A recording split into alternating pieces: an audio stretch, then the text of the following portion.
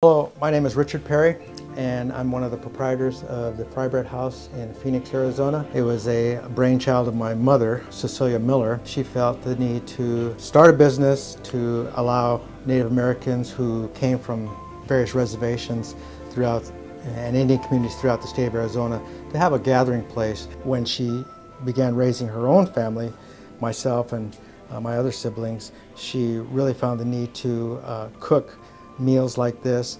One of the, the, the, foods that we commonly ate was fry bread and tortillas. We really had no problem with that because we found it delicious. I see my role, the role of my siblings, as just passing on what uh, our mother created and uh, uh, wanted to share with other people.